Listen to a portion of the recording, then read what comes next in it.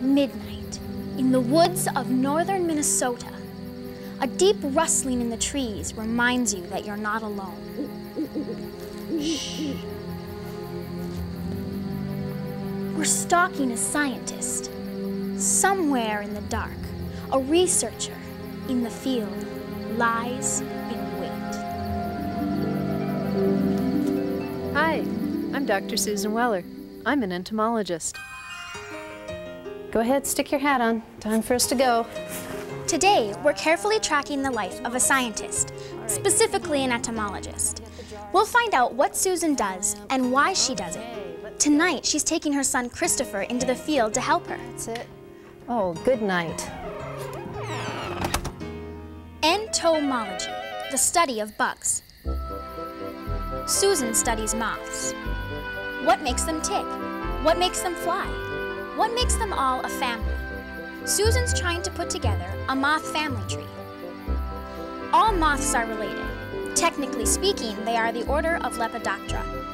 But what's the difference between moths and butterflies?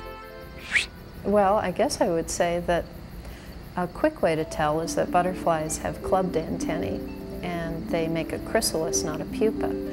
But really it's more complicated than that and the best way to think about the difference between butterflies and moths is that butterflies are day-flying moths. Susan's research is about moths and their families. That means they share certain characteristics, just like you and your family probably look alike. You might all wear glasses or have big ears. One way that Susan learns about moth family trees is by studying their DNA.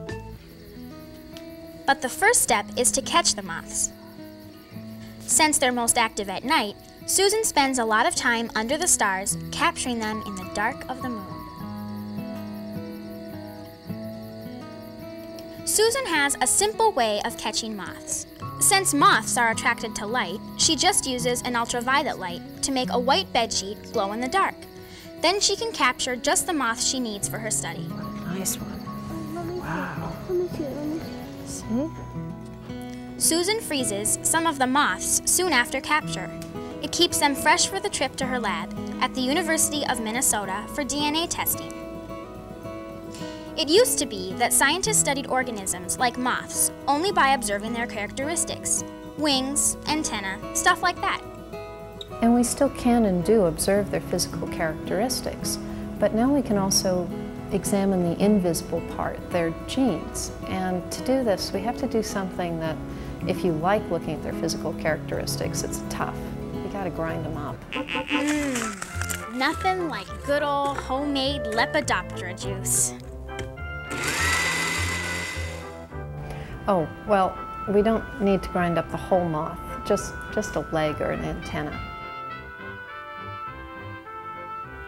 Susan's lab work is with the very tiniest parts of living beings, their genetic blueprint. Technology has given Susan a brand new way to construct moth family trees through DNA. And what we're trying to do is find a gene that controls a particular trait in the moth. It's kind of like looking for a trait that controls how you curl your tongue. Now, lots of people can curl their tongue. I'm afraid I can't very well, but, well, here's my best shot.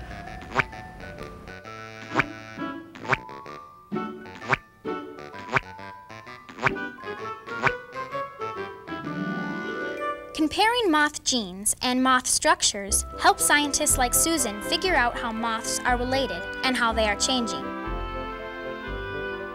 The moths that aren't frozen are carefully mounted for collections housed at the University of Minnesota.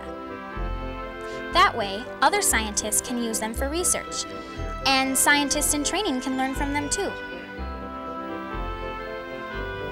Collections are incredibly important.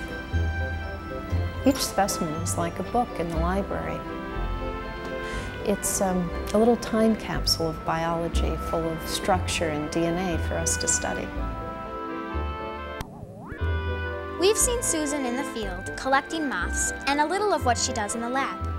But my favorite place is the museum, where you can see all the moths and butterflies collected by scientists. You know, studying bugs is really fun.